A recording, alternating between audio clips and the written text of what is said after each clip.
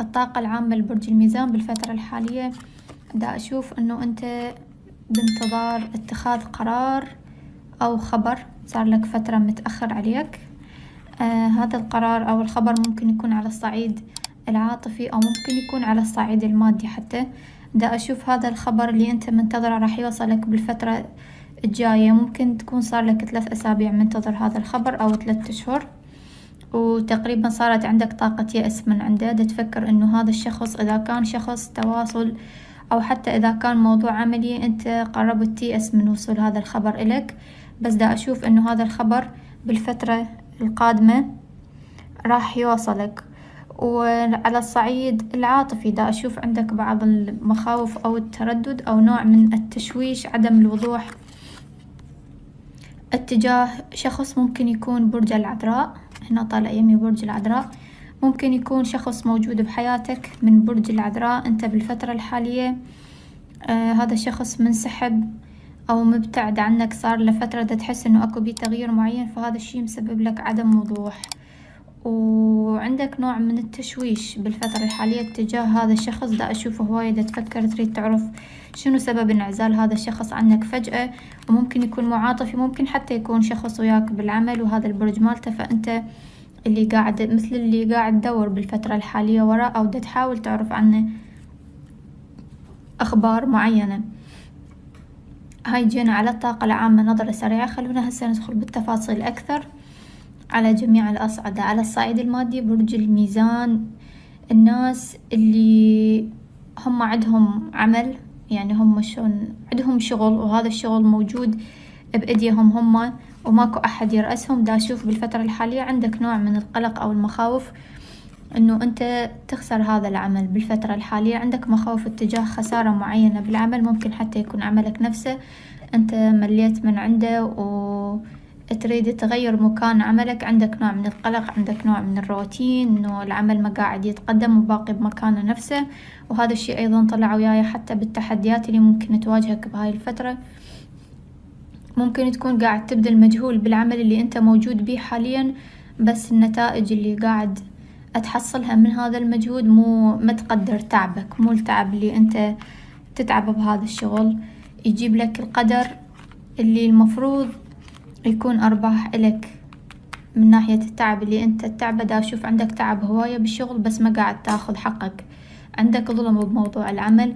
هاي إذا كنت أنت يعني عندك عمل ممكن يكون عندك أكو شخص بالعمل متسلط أو حتى إذا كان مديرك بالعمل دا أشوف هذا الشخص متعبك هواية بالفترة الحالية ودا يضغط عليك بهواية أمور. هذا الشخص من النوع اللي منضبط جدا ونفس الوقت ما ينطي أعذار ولا حتى يهتم للظروف اللي ممكن تكون موجودة عند الناس اللي تشتغل جوا إيده إذا كنت أنت موظف فدا أشوف عندك تعب من خلال شخص سلطة أكبر من سلطتك بالعمل. للنساء البعض من عندكم ممكن يكون هذا الشخص المدير اللي بالعمل عنده مشاعر اتجاهك أو أنت حتى عندك مشاعر اتجاهه وهذا الشي مسبب لك نوع من المخاوف والقلق. اتجاه هذا الشخص واتجاه خسارة عملك ممكن يكون هذا الشخص قاعد يسبب لك نوع من المضايقات بالفترة الحالية؟ فأنتي باقية ما بين إنه أنتي تحافظين على شغلك أو إنه أنتي تصدين هذا الشخص ولهالسبب عندك مخاوف إنه أنتي تخسرين شغلك بسببه لأنه هذا المدير ممكن يكون عنده طاقة تلاعب شوية.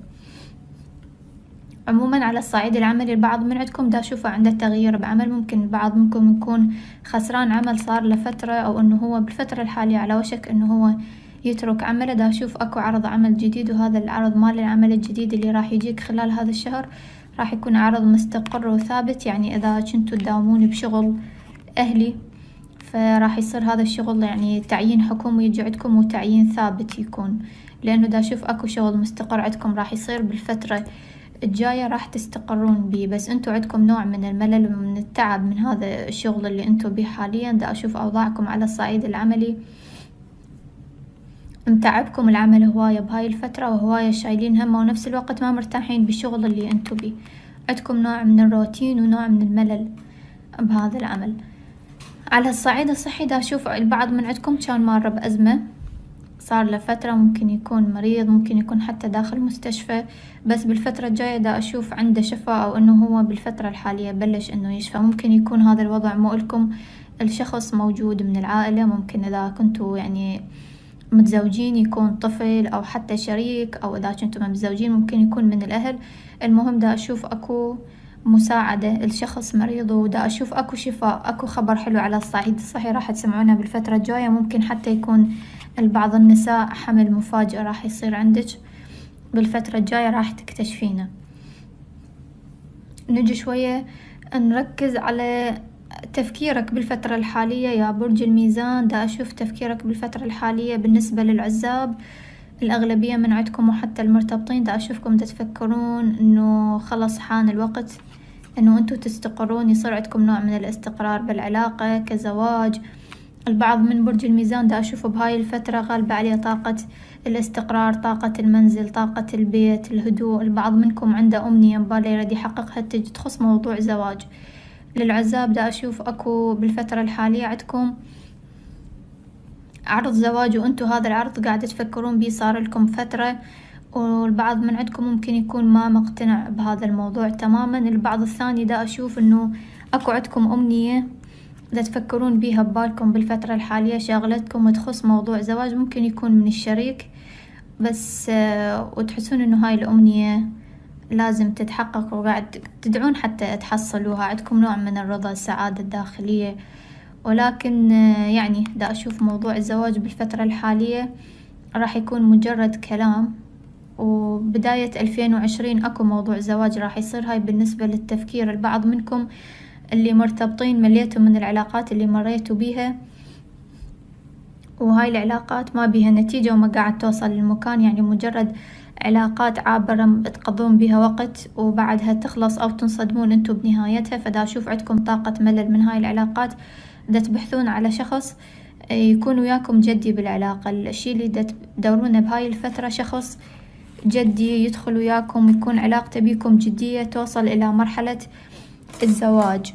هاي دا أحكي على التفكير برج الميزان بصورة عامة. المتزوجين دا أشوف إنه أنتم مريتوا بمشاكل صار لكم فترة بالبيت بسبب أطراف خارجية ممكن تكون من العائلة أو حتى ممكن يكون كان أكو زعل بينكم بسبب موضوع طرف ثالث. الطرف الثالث مثل ما أوضح كل مرة ممكن يكون شخص من الأهل هو دا يعيق العلاقة اللي بيناتكم أو يسبب لكم مشاكل يتدخل بيها أو ممكن البعض الثاني منكم يكون يعني طرف ثالث يكون خيانة بس بكل الأحوال دا أشوف الطرف الثالث اللي كان موجود بيناتكم للمتزوجين آه، طالع من العلاقة بالفترة الحالية ودا أشوف أكو مصالحة وأكو عودة للمنزل. إذا كنتوا تاركين المنزل يعني الناس اللي متزوجين فدا أشوف أكو عودة أكو رجوع وأكو صلح وأكو استقرار راح يصير بالبيت. أكو استقرار للمتزوجين من بعد مشاكل كنتوا مارين بيها أزمات صار لكم فترة دا أشوف أكو رضا شوية.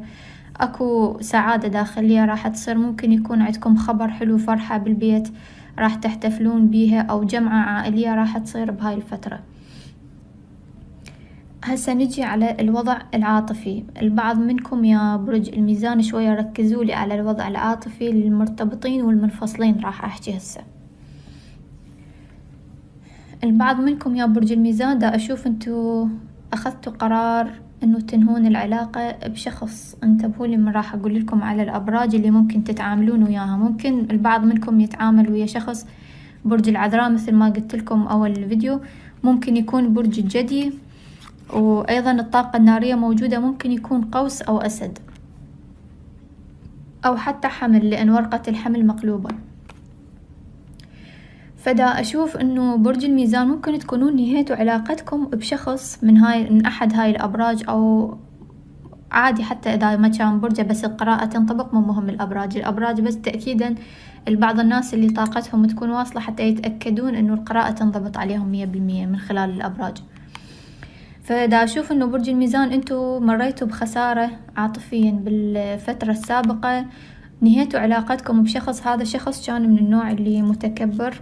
شايف نفسه متسلط ومسيطر بالعلاقة من النوع اللي يفرض سيطرته بالعلاقة. وهذا الشخص علاقتكم بيه ما كانت مستقرة وانتوا عندكم إحساس إنه هذا الشخص يكون متلاعب. هذا الشخص ممكن تكونون صار لكم سنة وياه أو إنه موضوع الزواج بيناتكم صار له سنة مفتوح بس هذا الشخص دائما دا يأجل بهذا الموضوع. دائما أكو إحباط دائما أكو تأخيرات دائما يقول لكم إنه يحكي وياكم أشياء بس هاي الأشياء ما دا أشوفها حقيقية صادقة ممكن يكون هذا الشخص كاذب. البعض منكم ممكن يكون أكو طرف ثالث بينكم موجود بالعلاقة. إذا ما كان برج الميزان نفسه هو بالفترة الحالية أنت طاقتك طاقة علاقة ثلاثية. إذا ما كنت أنت صاحب هاي العلاقة الثلاثية العلاقة الثلاثية طبعا إنه أنت تكون تفكر بشخصين أو إنه أنت يعني تحكي ويا شخصين بنفس الوقت. فدا أشوف إنه وضع العلاقة الثلاثية راح ينتهي بهذا الشهر راح تخرج أحد الأطراف الداخلية أو إنه هو الشخص نفسه من أحد الأطراف هو راح يطلع من العلاقة يصير بيناتكم انقطاع بالتواصل تنتهي علاقتك بيه المهم يعني بكل الأحوال دا أشوف أكو خسارة أنت مريت بيها أكو شخص فقدته طلعته من حياتك نهيت العلاقة بيه وهذا الشخص أنت من بعد ما نهيت العلاقة بيه دا أشوف ما عندك نوايا إنه أنت تدخل بعلاقة جديدة. لأنه هذا الشخص تعبك هواية وكان متلاعب ومن النوع اللي ما يفكر بعواقب الأمور ولا حتى يفكر للبعيد. تفكيره هذا الشخص محدود.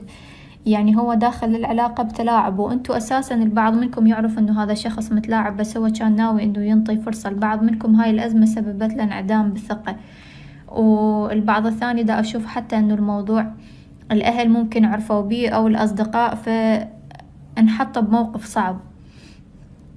بسبب هذا الشخص من بعد ما انتهت العلاقة ممكن يكون كان واعدك بموضوع زواج وأنت حكيت وقلت بس بعد هالموضوع فجأة يعني اختفى هذا الشخص أو إنه قالك آه، شلون نقول يعني أعذار وكذب. أكو كذب هواية عند هذا الشخص. فأنت من اكتشفت إنه علاقتك بيه ما راح توصل للمكان وعلاقة مو طويلة الأجل قررت إنه تنهي العلاقة أو راح تقرر إنه أنت تنهي العلاقة بالفترة الجاية لأنه التحدي اللي قدامك هو علاقة أنت تعرف إنه هي مو طويلة الأجل والنتائج مالتها ما راح توصل للمكان وأنت هواي استثمرت بهاي العلاقة. ممكن تكون صار لك سنين ويا هذا الشخص أو حتى استثمرت مشاعر ممكن هواي ضحيت له هواي صبرت عليه وهواي تحملته. ولكن هذا كله بالأخير طلع بدون فايدة هيجي تعبك راح يعني. فلهالسبب دا أشوف إنه أنت راح تتخذ قرار بالفترة الجاية تطلع هذا الشخص من حياتك اللي عنده طاقة تلاعب مو طبيعية. هذا الشخص حتى عنده نوع من الابتزاز العاطفي ممكن يعني يغلط بحقك ومن تعاتبه هو راح يحكي وياك يقلب الموضوع عليك ويخليك تحس بذنب لأن أنت رحت عاتبته على الغلط مالته ويخلي الغلط موجود بيك. دا شوف أنت دا تعاني من انفصال من هذا الشخص اللي عنده نوع من الدراما كوين يعني.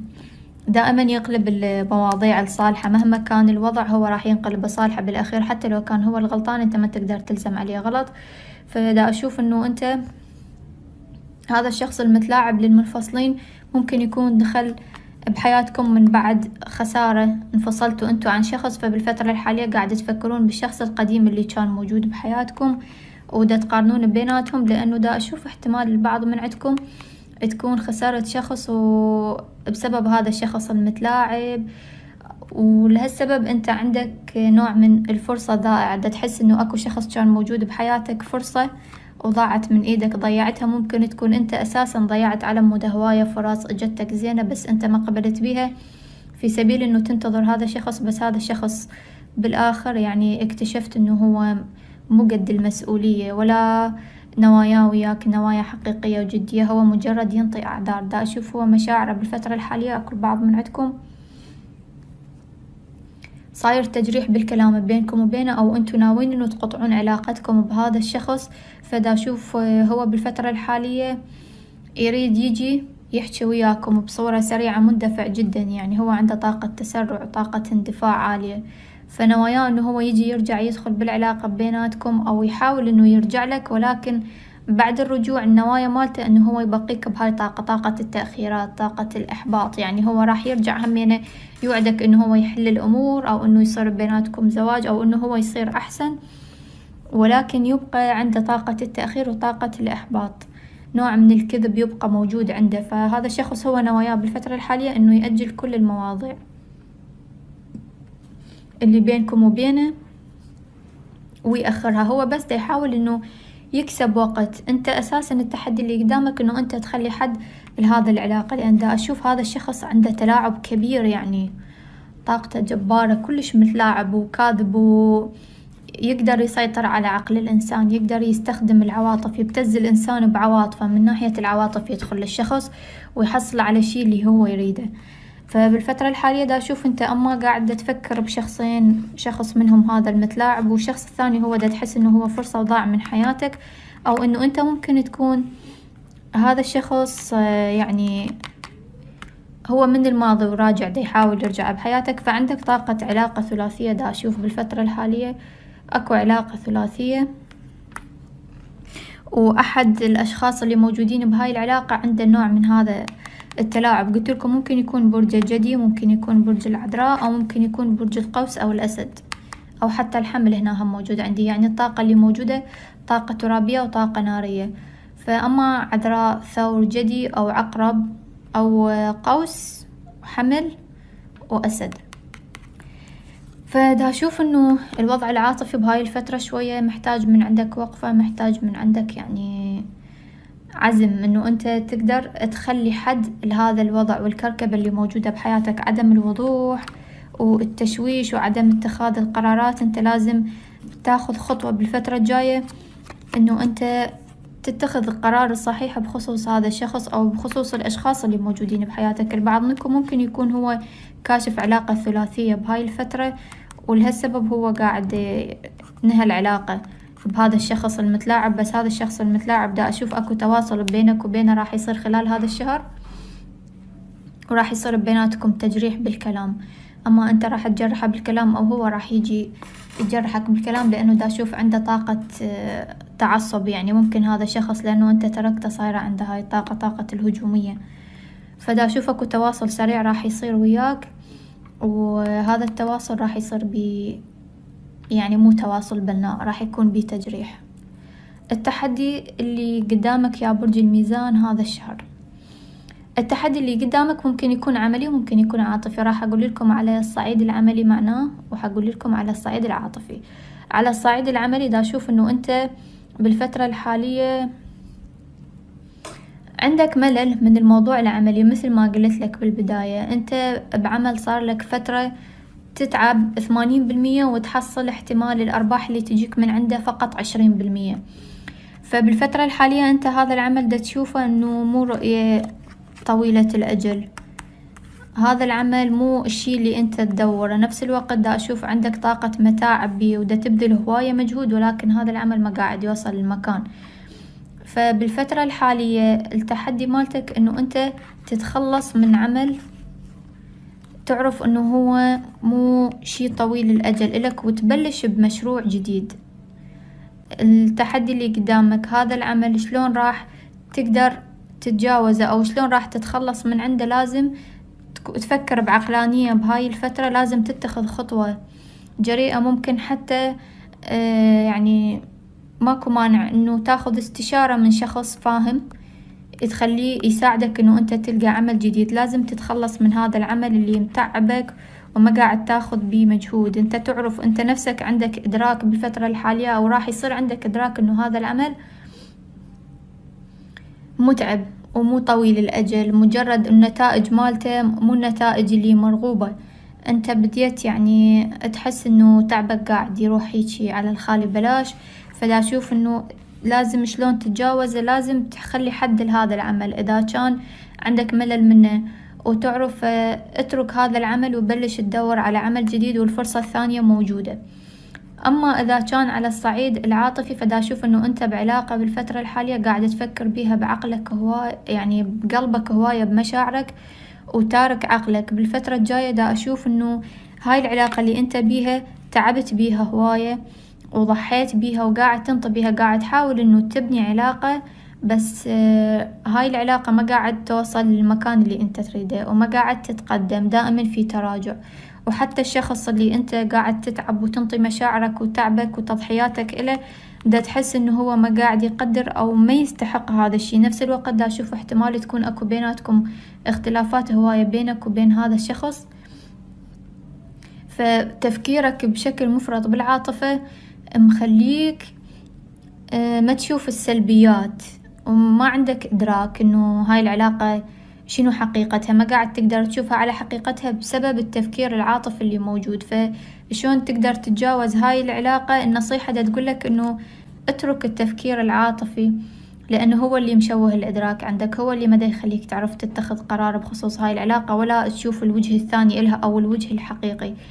التحدي اللي قدامك إنه أنت تقطع علاقتك بشخص متلاعب والعلاقة وياه مو علاقة طويلة الأمد ولا راح تدوم.